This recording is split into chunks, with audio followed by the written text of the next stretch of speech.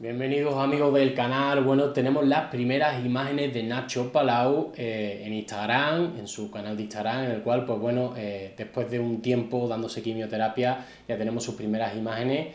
Ya sí se ha rapado el pelo por si ya sabéis que se le acabará cayendo y tal, eh, lo lógico, ¿no? Y ya se ha rapado, lo hemos desmejorado como es lógico, o sea, todo el que ha pasado por esto, tenéis familiares cercanos o amigos que han pasado por esto, sabéis que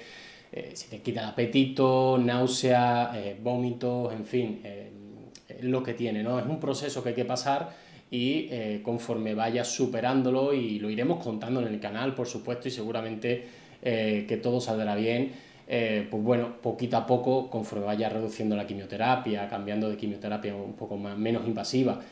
y ya luego la, la termine de dejar, poquito a poco irá recuperando ese tono muscular que claro, nosotros lo conocimos antes de Superviviente, que lo conocíamos corpulento, eh, de ir al gimnasio y tal, eh, poquito a poco en Superviviente encima fue perdiendo sus kilillos, pero bueno, mm, más o menos volvió un poquito a retomar algunos kilitos, eh, de no comer nada, a, comer varios días ya bien, estando en casa, y, y, claro, fue cuando, cuando lo vimos con la cara hinchada, él se quería, bueno, se estaba haciendo muchas pruebas, nos creíamos que era quizás eh, ese hinchazón de, de, una alergia que había podido comer que si un cangrejo en supervivientes y tal. Era raro que ya llevaba así varias semanas hasta que bueno, eh, definitivamente pues dieron con que era un cáncer pulmonar en el cual pues bueno, se tuvieron que dar eh, prisa en darle mucha bueno, la quimioterapia que creyeron conveniente y eh, cuanto menos invasivas sean poquito a poco y la vayan aminorando porque el cáncer vaya remitiendo, pues lo iremos viendo cómo va recuperando ese tono muscular, ese apetito, esas náuseas irán desapareciendo y ahora mismo pues sí es verdad que las imágenes que vemos pues no, no lo vemos bien, lo vemos delgado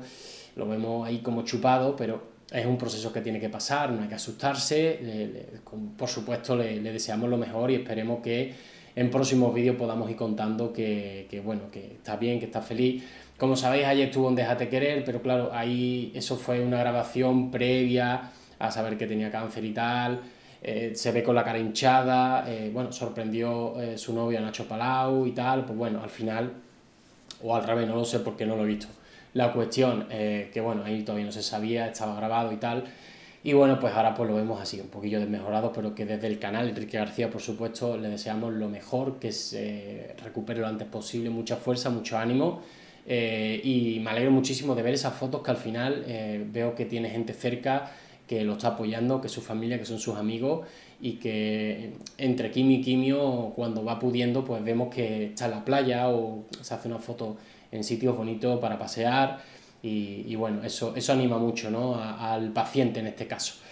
Dicho esto, con todos nuestros mejores deseos desde aquí Nacho Palau, que te recuperes pronto, nos vemos en el siguiente vídeo. Saludos.